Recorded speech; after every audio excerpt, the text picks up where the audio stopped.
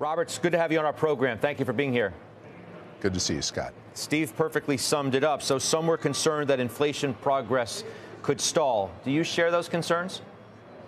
Uh, yes, I do. Um, I think uh, if I were sitting at the Fed, I'd want to see more evidence that this inflation improvement is going to continue. And the reason that I'd be very cautious uh, is substantial amount of fiscal spending, Inflation Reduction Act spending, Infrastructure Act, unspent ARPA money.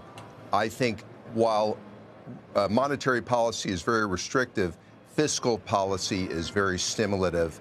And so I would be on guard about that if I were at the Fed. How much more evidence is, is warranted before they actually make that first move to, to cut rates? They've already suggested that they're going to cut before inflation gets down to target anyway.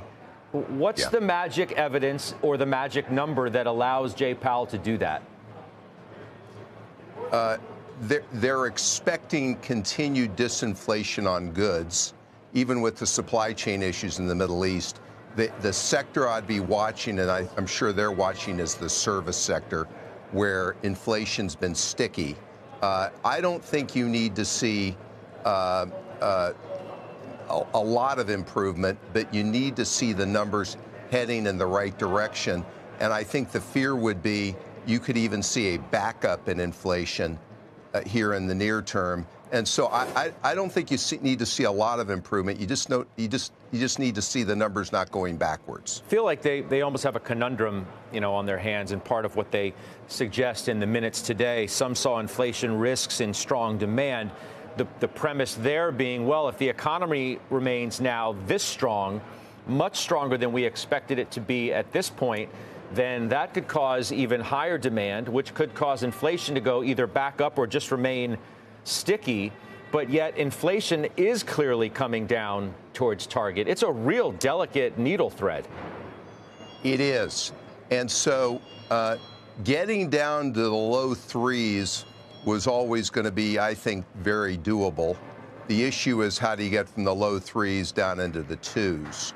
And um, the the issue for the Fed is what what they what they don't want to do is start lowering rates and then have negative reports where they have to stop or even go backwards.